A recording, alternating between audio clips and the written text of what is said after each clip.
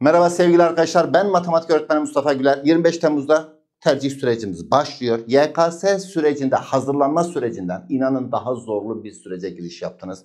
Çünkü ömür boyu yapacağınız meslekleri belirleyeceksiniz. Bu çok önemli bir süreci düzgün bir şekilde değerlendirmeniz adına ne yapabiliriz? Ne yapabiliriz? Bununla alakalı arkadaşlar size bilgi vermek istedim. Şimdi birincisi ne geçmeden önce ben arkadaşlara söz vermiştim. Çünkü arkadaşlarımız bize diyor ki hocam velilerimiz diyor ki 4 yıl sonra ya da 5 yıl sonra iş garantisi var diye şu bölümü yaz. Ama ben o bölümü istemiyorum. Sevgili velilerimiz çocuklarımızın istemedikleri bölümlere niçin tercih yaptırıyorsunuz? Üçüncü sınıfta, dördüncü sınıfta çocuk belki de bu bölüm bırakacak. Yapamayacak, yapamayacağını anlayacak. Hobilerine, fıtratına, ne bileyim becerilerine belki de ters gelen bir bölümdür. Niçin zorlan çocuklarınıza istemedikleri bölümleri yazdırıyorsunuz? Farzların 4-5 yıl sonra ataması olmadı. Olmadı. Olabilir mi? Olabilir. 4 yıl sonra neyin garantisi var arkadaşlar? Ataması olmadı. O yazdığınız bölümü, yazdırdığınız, zorla yazdırdığınız bölümü bir sizin çocuğunuz ya da evladınız okuyor. Bir de o mesleği gerçekten sevip de bilerek yazan bir öğrenci okuyor. İkisi de mezun oldu. Sizce kim başarılı olur? Tabii ki diğer arkadaşımız çok başarılı olur. Arkadaşlar bakın. Sıcak mı sıcak? Ben bu öğretmenlik ve rehberlik işini seviyor muyum? Tutkuyla bağlıyım. Sıcaklık gözüme geliyor mu? Gelmiyor. Ofluyup pufluyor muyum? Hayır. Çünkü ben mesleğimi seviyorum. Her şartta, her koşulda yaparım. Gözüme gelmez. Ama birileri beni zorla matematik öğretmeni yapsaydı, rehberlikçi yapsaydı, sizce ben bu sıcakta bu çekimi yapabilir miydim? Yapmazdım ki. İşte fark orada ortaya çıkıyor. Ondan dolayı size diyorum ki sevdiğiniz bölümleri mutlaka ve mutlaka yazın. Sevgili velilerimiz, çocuklarımıza lütfen bu noktada saygı duyun. Lütfen. Dördüncü maddeyi başa aldım. Öyle devam ediyorum. Arkadaşlar sevdiğiniz bölümlerin tercihini lütfen yapınız. Mesleği 3-5 ay icra etmeyeceksin. Ya da üniversiteyi 2 yıl mı okuyorsunuz, 4 yıl mı okuyorsunuz, 6 yıl mı okuyorsunuz? O süreç değil o bölümleri yazmanız. Oğlum ondan sonra bir ömür boyu o bölümle uğraşacaksınız.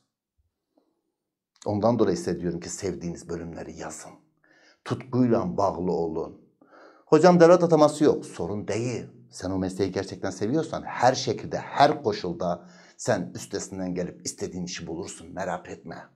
Tamam. Ondan dolayı diyorum ki sevdiğiniz bölümden tercihini yapın. İki, özel sektörü düşünerek lütfen tercih yapın. Okul bitiminde hiçbir şeyin garantisi yok demişim. Ama bunu da özellikle vurgu yaptım.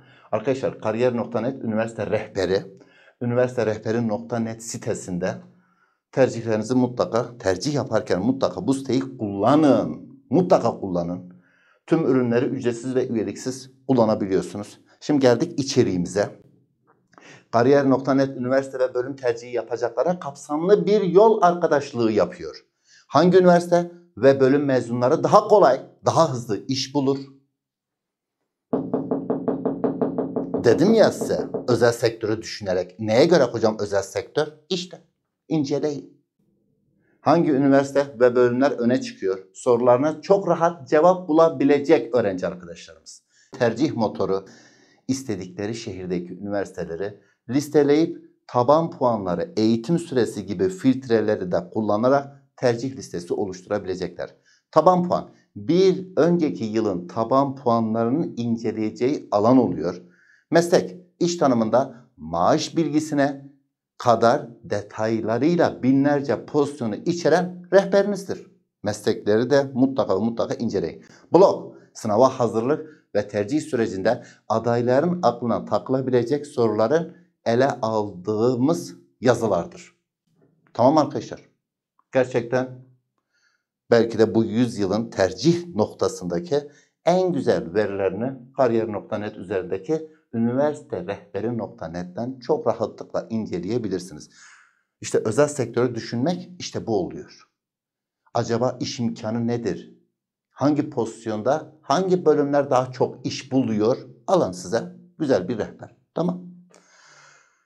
Tercih süre, sürecinde uzmanlardan ve danışanlardan mutlaka yardım alın. Arkadaşlar bakın burasını özellikle şöyle noktalamak istiyorum. Nasıl hocam? Şimdi bazı arkadaşlarımız sıralaması 100 bin. Gidiyor diyor ki hocam. Efendim oğlum diyor hocamız.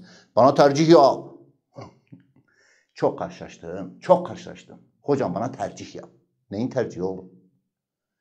Siz gerçekten tercih yapmasını bilmiyorsunuz.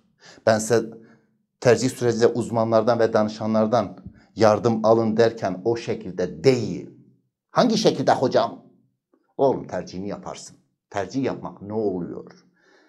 Bölümünü belirlersen. Hocam ben hemşirelik, sağlık sektörünü çok istiyorum. Tamam ona göre tercihinizi yaptın. 100 bin misin kardeşim? 50 binden başlarsın. %50'sinden başlarsınız. Birkaç tane tercih 4-5'e kadar 100 bine kadar yapın. Geriye kalanlar 100 binden sonrasını yaparsınız. Yaptınız mı? Gittin hocana. Hocam tercihlerimi yaptım bir inceler misin? Bitti. Budur işte. Yardım almak bu oluyor. Hoca bakar. Şu ölü tercihtir. Sil. Sen bölümleri belirle. Bir şablon oluştur. Sonra git. Hocalarınıza sorun. Hocam hocam yok. Oğlum okuldaki hocalara gidin. Okulda bütün okulların hepsi burs hizmeti veriyor zaten. Herhangi bir dersine gitseniz ya hocam ben tercih yaptım da bir inceler misiniz dediğin zaman sana yok mu diyecek. Demez ki. Tamam. Bir daha altını çiziyorum. Sevgili velilerimiz, lütfen çocuklarımızın tercihine saygı duyalım. Lütfen.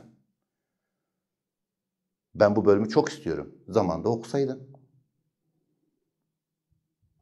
Bizim hayal ettiğimiz, ya ben öğrenci olsaydım bu bölümü okurdum. Oğlum sen de bu bölümü oku. Değil. Değil. Öyle bir şey yok. Lütfen çocuklarınızın tercihlerine saygı duyun. Onlar okuyacak, onlar mesleği icra edecek. Onlar çoluk çocuklarının rızkını o meslekten para kazanarak sağlayacaklar. Tamam. Benden bu kadar arkadaşlar. Hadi 25 Temmuz'dan sonra 2 e, Ağustos'a kadar tercih süreci devam edecek. Dediğim gibi bu imkanlardan yararlanın. Tercih e, fuarları oluyor. O fuarlara mutlaka ve mutlaka katılın. Mutlaka katılın. Ben de 26 Ağustos'ta Güngören Belediyesi'nin tercih fuarında olacağım. 26 Ağustos'ta bilginiz olsun. İstanbul'daki tüm arkadaşları bekleriz zaten. Hadi. Allah gönlünüze göre istediğiniz bölümleri kazanmayı ise nasip etsin diyeyim. Hadi görüşürüz.